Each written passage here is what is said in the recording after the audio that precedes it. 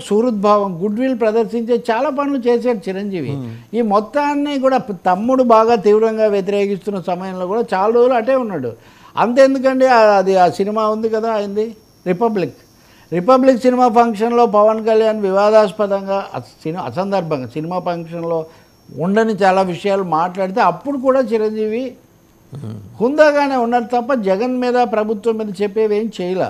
మొన్న కూడా ఆ మాటకు వస్తే ఆయన పాజిటివ్గా వీళ్ళని బలపరిచాడు కానీ ఉన్న ప్రభుత్వాన్ని ఏదో ముఖ్యమంత్రి మీద కానీ ప్రభుత్వం మీద కానీ అసలు ఆయన దగ్గర పరుష అది లేదు. అటువంటి అప్పుడు దాన్ని ఇంకా పెంచుకోవడం ఆయన ఒకసారి చెప్పాడు ఒక వీడియోతో అది అయిపోయింది. కానీ వీళ్ళు రోజు దాని గురించి మాట్లాడి పెంచుతూ ఉన్నారు. దీన్ని వెంటనే పవన్ కళ్యాణ్ అందిపుచ్చుకుంటాడు.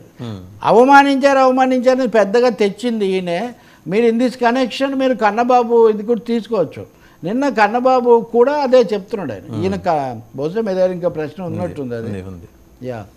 కన్నబాబు గురించి కూడా ఆయన కామెంట్ చేశారు అదే రాజకీయ విమర్శలు వేరండి వ్యక్తిగతమైన ప్రస్తావనలు రెఫరెన్సెస్ ఏమో ఆచితూచి కెరియర్ కెరియర్ బిగినింగ్లో సైకిల్ మీద మొదలెట్టచ్చు తర్వాత స్కూటర్కి వెళ్ళొచ్చు తర్వాత మోటార్ సైకిల్ కార్ వెళ్ళొచ్చు అప్పుడు డొక్కు స్కూటర్ వేసుకొచ్చారు కాబట్టి ఇప్పుడు కూడా అదే వేసుకుని వెళ్ళాలని లేదు కదా. అదేదో సినిమాలో ప్ర- ప్రకాష్ రాజు కొడుగ్గా వేసిన తరుణ్ అంటాడు. మీరు రిక్షా దొక్కారు కాబట్టి నేను కూడా మీ కోటీశ్వరుడు మీరు కోటీశ్వరుడు అయిన తర్వాత మీ కొడుగ్గా నేను కూడా రిక్షా దొక్కి మళ్ళీ నేను కోటీశ్వరుని కావాలా? అని.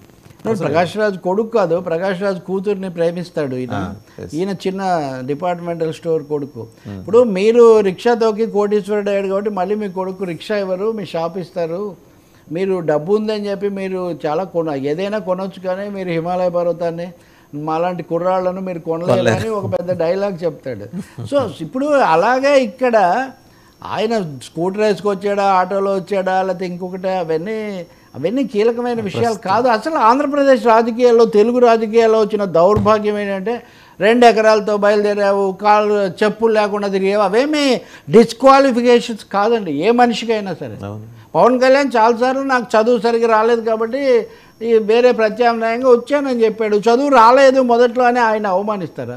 ఇప్పుడు ఆయన సర్టిఫికేట్లు తీసుకొని ఆయన పదో తరగతి చదివాడా? ఇంకొకటి ఇవన్నీ ప్రజా జీవితానికి సంబంధించిన అంశాలు రిలవెన్స్ లేదండి పబ్లిక్ లైఫ్కు. ఇకపోతే కన్నబాబు జవాబులో ఆయన జర్నలిస్ట్ కదా ఆయన ఎక్కువగా చెప్తుంది ఏంటంటే నేను చిరంజీవికి విధేయుని చిరంజీవి నాకు ఇచ్చాడు ఆయన నన్ను ఆశీర్వదించాడు అనుకుంటున్నా భిక్ష పెట్టారని మీరు అనుకుంటున్నారు అలా అయినా నాకు అభ్యంతరం లేదు అని చెప్తూ పవన్ కళ్యాణ్ కొంచెం సంయమన పాటించాల్సిన అవసరం అయితే ఉంది. నేను పోసాని అయితే ఖండిస్తాను పవన్కి అయితే కనీసం సంయమనమన్నా పాటిస్తే ఇట్లాంటి సమస్యలు కొన్ని రాకుండా ఉంటాయి. అంటే ఏం జరుగుతుందంటే అండి వ్యర్థ వివాదాల చుట్టూ తిరుగుతుంటుంది. ఇంకా ఆయన ఏమన్నాడు ఈయన ఈయన ఏమన్నాడు? ఇప్పుడు నేను కామెంట్ చేశాను అనుకోండి కింద వెంటనే ఆయన అన్నప్పుడు మీకు కనపడలేదు అంటారు ఇక మనం మిగతా పనులు లేదా సమస్యలు రాజ్యాంగ అంశాలు ఇట్లాంటివి వదిలిపెట్టేసి ఆయన ఏమన్నాడు ఈయన ఏమన్నాడు ఇవి మనం చెప్పుకుంటూ పోవాలి. సో చిరంజీవి అయితే మాట్లాడు నేను ఆ ఐశ్వర్యం చిరంజీవి ఇందులో తలదూర్చి తనేదో సైడ్ స్థాయిని సామాన్యంగా తీసుకోడు. కాబట్టి దీన్ని హుందాగా ముగించాల్సిన బాధ్యత ఉంది. ఇంకా పది రోజులే ఉన్నాయి కదా. మీరు రాష్ట్రం గురించి మాట్లాడండి హోదా గురించి మాట్లాడండి గోదావరి జలాల గురించి పోలవరం గురించి పట్టిసీమ అప్పుడు కట్టారు. ఇట్లాంటివి అనేకం ఉన్నాయి ఇక్కడ మాట్లాడాలంటే. అవి వదిలేసి ఈ వ్యక్తిగతంగా ఇంకా ఇంకా తగ్గడం అనేది ఇక్కడ సమస్యగా మారుతుంది. ఐషుడ్ నేను పేర్లు చెప్పను కానీ వీళ్ళలో కొంతమంది మాట్లాడుతుంటే మిగతా వాళ్ళు ఎంత అన్కంఫర్టబుల్గా ఉన్నారో వాడి బా వాళ్ళ బాడీ లాంగ్వేజ్ ప్రేక్షకులకు కూడా అర్థమవుతుంది. మేము తిరుగుతున్నప్పుడు కూడా అక్కడక్కడ కనబడే వాళ్ళు చాలామంది మాట్లాడుతుంటారు కదా మాతో. వాళ్ళు కూడా చెప్తున్నారు అన్నమాట సో ఏదో వినాలని వచ్చి కుర్రాళ్ళు ఉత్సాహంగా వచ్చి కేకలేసే వాళ్ళు ఒక బ్యాచ్ ఉంటారు. వాళ్ళు వేయొచ్చు. వాళ్ళని అడ్రస్ చేస్తే you address the Andhra Pradesh. Not the fans not the people just standing before you whether it is Chandrababu Naidu or Jaganmohan Reddy or Pawan any anybody. మీరు రాష్ట్రాన్ని అడ్రస్ చేయండి తప్ప ప్రత్యర్థులకు సమాధానం ఇవ్వండి. కానీ మీ అడ్రస్ మీ మెసేజ్ మీ అప్పీలు ప్రజలకు ఉండాలి. ప్రత్యర్థులకు సమాధానం మాత్రమే. అది అది తప్పిపోయింది ఇక్కడ. అలాగే ఇందాక ఎన్నికల సభలో ముఖ్యమంత్రి మాట్లాడుతూ జగన్మోహన్ రెడ్డి గారు ఆంధ్రప్రదేశ్ ముఖ్యమంత్రి మాట్లాడుతూ ఇన్ని సంక్షేమ పథకాలు ఇచ్చినందుక చంద్రబాబు జగన్మోహన్ రెడ్డికి ఓటే ఓటేయొద్దని చెబుతున్నావు అని చెప్పేసి అదే ఆయన సభకి సభకి తన ఓరియంటేషన్ మార్చుకుంటున్నారు ఆయన. అంటే రొడ్డకొట్టుడు ఉంటల్లా.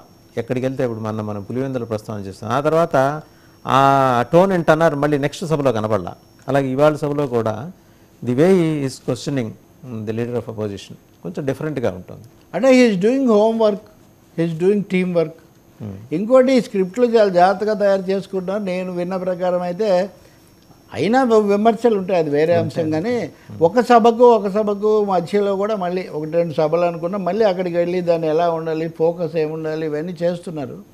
ఆ విధంగా మీ బిడ్డ మీ జగన్ ఆ పాట కూడా అదే కదా. సో అది ఒక విధంగా కొంచెం దగ్గరగా తీసి నేను మీ వాడిని మీకోసం ఉన్నానని చెప్పి మెసేజ్ ఇవ్వడానికి ఎక్కువ ప్రయత్నం చేస్తున్నట్టు కనిపిస్తుంది.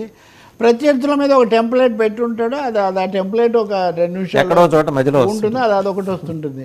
మిగిలినంతా మోర్ పాజిటివ్గా వాళ్ళను ఆకట్టుకోవడం అన్నదానికి ఆయన పెట్టినట్టుగా ఉన్నారు.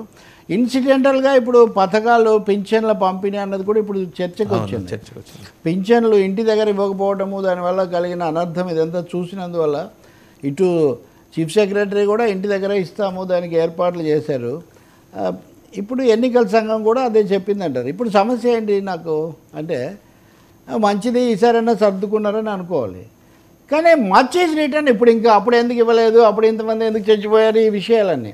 నేను అంటుంది ఏంటంటే విమర్శ ఒకటి జరుగుతున్నది జరగనివ్వడం ఒకటి. ఈ రెండు ఉంటే రాజ్యము పాలన నడుస్తాయి తప్ప ప్రతిసారి పాతవి అక్కడే ఎవ్వరు కాపాడినా మళ్ళీ మనం గత అప్పటి దానికి తీసుకెళ్ళామండి ఒక వృధా అంటే దీనివల్ల ఏం జరిగిపోతుందేమో? దీనివల్ల ఏదైనా పాజిటివ్ వస్తుందేమో అనుకోవడం వల్ల ఏం ఉపయోగం లేదు. ప్రజల్లో వచ్చేది పాజిటివ్ అయినా నెగిటివ్ అయినా ప్రజల్లో వచ్చేది వాళ్ళకు వచ్చే స్పందన వాళ్ళకు వస్తుంది.